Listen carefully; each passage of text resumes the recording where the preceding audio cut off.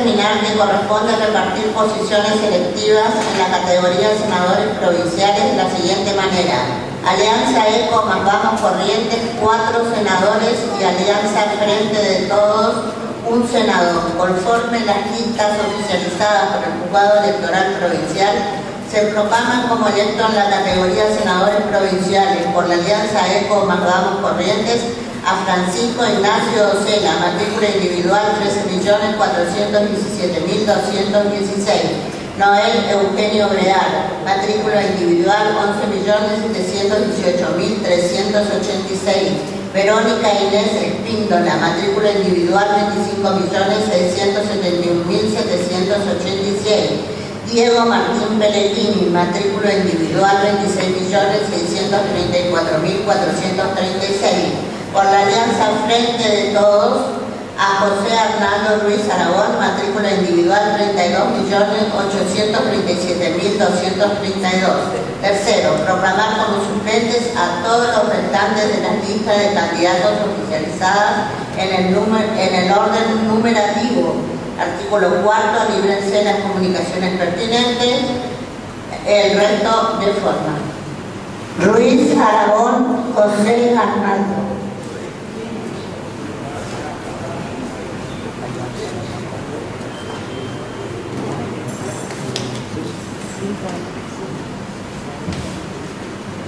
Señor Senador Provincial José Arnaldo Luis Aragón, juráis por Dios, por la patria y estos santos evangelios desempeñar fielmente el cargo de senador para el que habéis sido electo?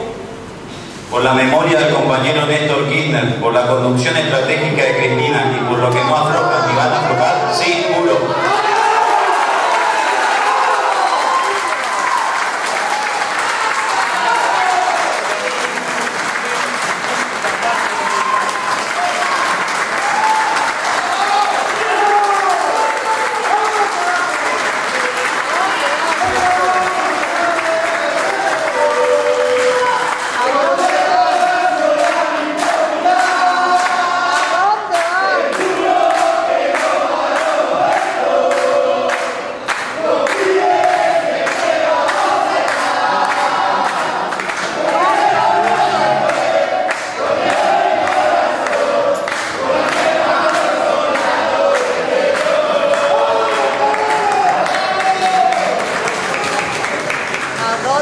Bueno, una vez finalizada la sesión preparatoria de hoy, nos encontramos ahora con José Pitín Ruiz Aragón, con quien nos va a comentar hoy cómo, cómo estuvo, cómo vivió hoy eh, esta sesión y esta, esta, la jura que hizo ya de cara a lo que va a ser su mandato. ¿no? Buen día, Pitín, ¿cómo estás? Un gusto. Buen día para ustedes. Sí, estuvimos asumiendo hoy en la preparatoria.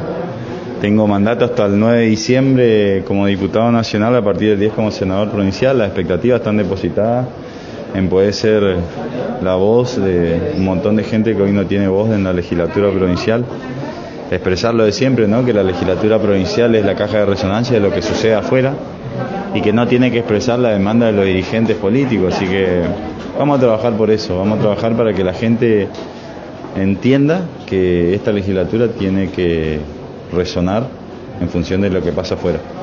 Eh, se encuentra con otro panorama de la, de la Cámara de Diputados de Nación a, acá ser oposición a una, una oposición de, que es minoría. ¿Cómo ve este panorama? Y siempre es un escenario complejo ser minoría, sobre todo cuando uno tiene mucha expectativa de transformar la realidad. las leyes funcionan como, como auxiliar de las transformaciones.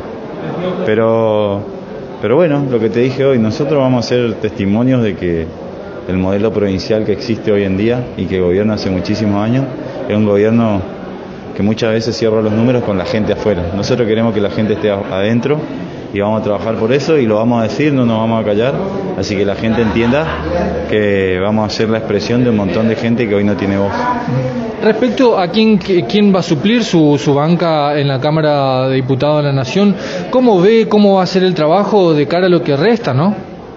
El, suplente es Fabián Borda, que es diputado nacional, eh, va a asumir en los próximos días y yo creo que es un compañero capacitado para enfrentar los desafíos que lleva una gestión legislativa.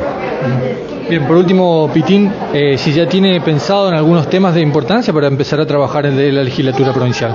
Como primera medida, paridad y voto joven, hay alguna deuda pendiente con la sociedad y que esperemos que el Ejecutivo de una vez por todas lo haga porque es algo que están reclamando. Y después vamos a seguir trabajando en función de la necesidad del bloque.